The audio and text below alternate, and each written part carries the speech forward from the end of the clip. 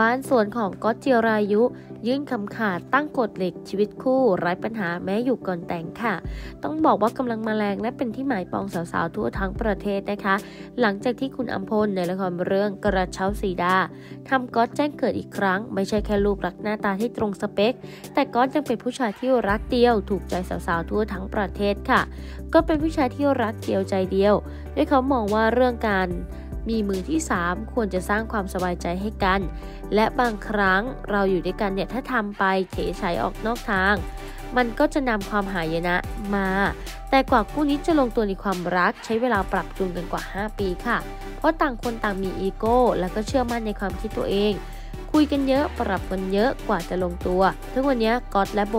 เลยเล่าให้ฟังว่าเคยทะเลาะกกันรุนแรงถึงขั้นที่เลิกนะ เพราะฝ่ายชายนั้นติดแตก โดยโหยหาอยากอยู่คนเดียว เวลาพูดจะตรงมากเช่นก๊อตอยากอยู่คนเดียวก๊อตแค่ต้องการใช้เวลา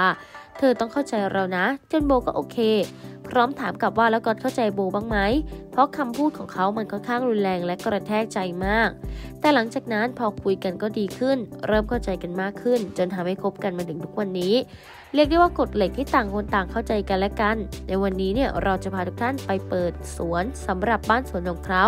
บ้านคอจิรายุ ตั้งอยู่ที่หมู่บ้านใหม่สไตล์ทันสมัย ขนาดใหญ่ กว้างขวางที่สำคัญนั้นอยู่ติดสวน ซึ่งแม้ว่าจะเพิ่งย้ายเข้ามาแต่ก็ต่อเติมและตกแต่งได้สวยงาม น่าอยู่มากๆ ภายในโล่งโปร่งสบาย ซึ่งในวันนี้เก็บภาพมาฝากกันค่ะ จะเป็นอย่างไร น่าอยู่ขนาดไหนมาตามกันค่ะ